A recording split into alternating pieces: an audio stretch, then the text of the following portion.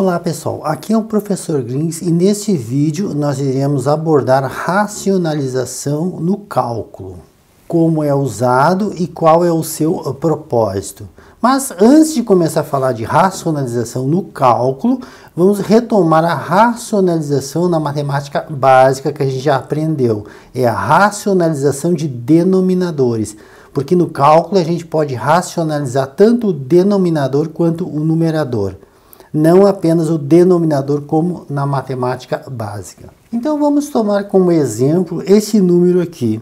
Nós temos no denominador raiz de 2 e nós queremos racionalizar o denominador, ou seja, tirar a raiz de baixo do denominador, deixar ela só no numerador. E como a gente atinge esse objetivo e qual é o propósito disso? Para atingir esse objetivo, a gente copia o número novamente, este aqui, e multiplica tanto em cima quanto embaixo por raiz de 2. Por que disso?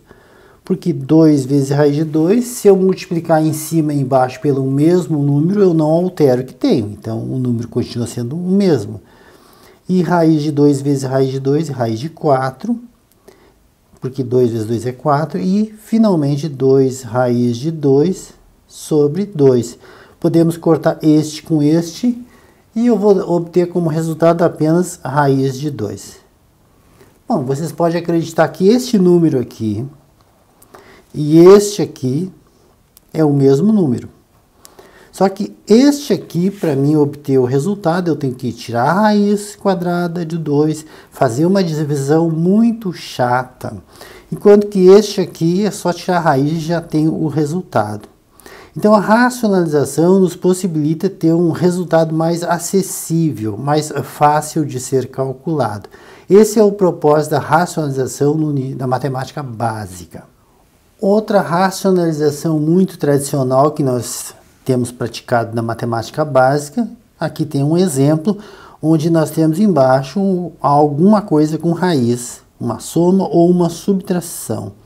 É claro que eu tenho que tirar a raiz de 5, tirar a raiz de 2, fazer um menos o outro e depois uma divisão muito complicada.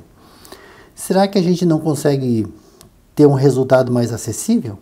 Novamente, nós vamos multiplicar em cima e embaixo por aquilo que eu chamo de conjugado do denominador. Aqui no caso, a racionalização é do denominador. Então, eu vou multiplicar em cima e embaixo por, pelo conjugado deste de baixo aqui. O que, que seria? E aqui está, eu reproduzi o número aqui e multipliquei pelo de baixo, né, trocando esse sinal aqui. Isso é muito importante porque na racionalização do cálculo de nível superior é isso que nós vamos usar. Então, se eu efetuar essa multiplicação, em cima não tem o que fazer. Fica 3 raiz de 5 mais raiz de 2. Já embaixo, eu estou me lembrando dos produtos notáveis A menos B, que multiplica A mais B. Isso aqui vai dar o quadrado do primeiro menos o quadrado do segundo. Perfeito. Aí está, então. Então, o quadrado primeiro é raiz de 5 elevado ao quadrado menos raiz de 2 também elevado ao quadrado. Agora passando a limpo para ver o que, que sobrevive aqui. E aqui eu corto esse 2 com esse 2, vai dar 5. Colocando 5, já reproduzi aqui tudo, né? Só vamos fazer este avanço. Opa, aqui está faltando parênteses. Corta esse com esse, vai dar 2, menos 2. Finalmente, melhorando essa resposta, 3, que multiplica a raiz de 5 mais raiz de 2. Tudo isso, 5 menos 2 é 3. Posso simplificar este com este. O resultado final vai ser raiz de 5 mais raiz de 2. Aí está então. Vamos comparar com o número inicial. Aqui eu tenho raiz de 5 mais raiz de 2. Neste caso, eu teria que tirar a raiz, tirar a raiz, subtrair fazer uma divisão muito chata. Neste caso, não tem divisão, é tirar a raiz, tira a raiz e apenas a soma. Então é claro que esse resultado aqui, racionalizado, com o denominador racionalizado, é mais elegante, mais acessível do que este aqui. Esse era o propósito da racionalização lá na matemática básica. E agora vamos ver a racionalização no cálculo. Para que, que ela serve e como se faz. E aqui está uma expressão e algo muito comum lá no cálculo é o limite. Eu vou dar uma breve ideia para vocês, uma palhinha sobre o que, que é. Eu tenho essa expressão e eu quero saber aonde essa expressão vai, para onde ela tende, quando este h se aproxima do zero. Ah, então é isso que eu quero analisar. Isso é normal, vamos só ficar nisso, não vamos aprofundar muito. Então, quando h tende a zero, eu vou colocar o zero aqui para ver o que, que acontece. Vai dar raiz de 2 mais tendendo a zero, menos raiz de 2 sobre quando tende a zero dá zero. Logo, evoluindo um pouco mais, raiz de 2 menos raiz de 2 sobre zero. E finalmente zero sobre zero, cheguei a lugar nenhum. Por quê? Porque zero sobre zero é uma indeterminação, matematicamente não tem como calcular. Então, vamos racionalizar e talvez conseguimos uma vantagem, só que dessa vez é o numerador, porque a raiz está em cima. Então aqui pode ser necessário racionalizar tanto o numerador quanto o denominador. E o propósito aqui não é conseguir uma resposta mais bonita como na matemática básica. O nosso propósito aqui é tentar chegar e promover uma simplificação que nos livre desse zero sobre zero. Então vamos fazer a racionalização do numerador aqui. Então aqui está, reproduzi tudo aqui embaixo e multipliquei por aquilo que eu chamo de conjugado do numerador dessa vez. Então menos aqui, botei mais e mais. Novamente eu estou enxergando um caso de produtos notáveis. A menos B que multiplica A mais B. Esse aqui de cima agora eu me despeço dele, vou trabalhar só com essa parte de baixo aqui. Já coloquei aqui em cima, né, o caso que eu tenho, A menos B vezes A mais B, onde o A é esse aqui, o B é raiz de 2 e o A de novo e o B. E agora eu elevo este ao quadrado menos este elevado ao quadrado, para me livrar da raiz. E aí está o que eu estava dizendo.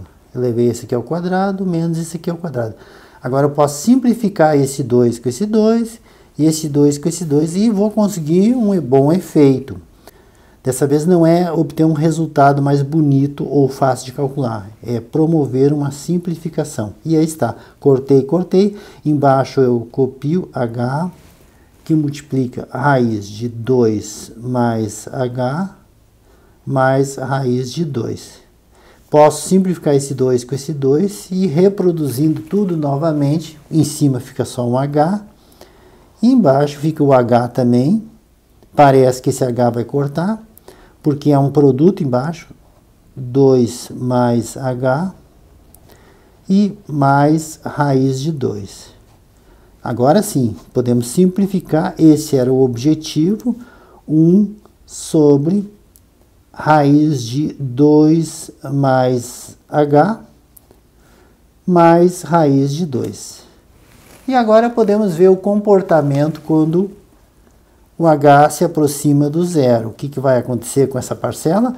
Vai se transformar em 1 sobre raiz de 2 mais se aproxima de zero, mais raiz de 2. Logo, 1 sobre raiz de 2 mais raiz de 2. Juntando raiz de 2, 1 sobre 2 raiz de 2. Aí está, então, e agora podemos fazer até se nós quisermos, não é obrigado, a racionalização que nós vimos na matemática básica. Para tornar essa resposta mais acessível, eu posso até racionalizar. Então vai ser raiz de 2 sobre 2 raiz de 4, que dá raiz de 2 sobre 2 vezes 2. Finalmente, 2 vezes 2 é 4, raiz de 2 sobre 4. Então, este é o valor ao qual aquela expressão se aproxima quando o h tende a zero, aquela expressão tende a este valor aqui. Vão se acostumando com isso. Isso é o princípio de limites. Antes de encerrar o vídeo, gostaria de deixar um exercício sugestivo para vocês. Qual é a tendência desta expressão quando o H tende a zero? As respostas eu estou deixando na descrição do vídeo e boa sorte no exercício. Pessoal, esse curso de pré-cálculo é na medida certa, dentro da realidade do que vocês irão encontrar, sem muito excesso. Portanto, se você gostou do vídeo, dê aquele like muito bem-vindo e ajude a divulgar esse curso entre seus eh, colegas. Desde já eu agradeço e aguardo vocês no próximo vídeo.